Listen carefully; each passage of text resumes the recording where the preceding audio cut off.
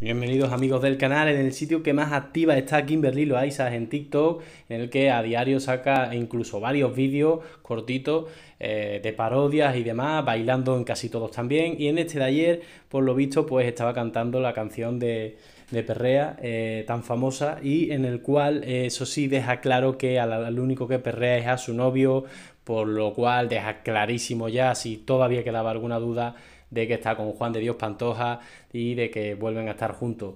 Así que nada, seguiremos informando. Como ya sabéis, nos vemos en el siguiente vídeo. Un saludo a mis suscriptores y suscriptoras desde Polémica Tuve.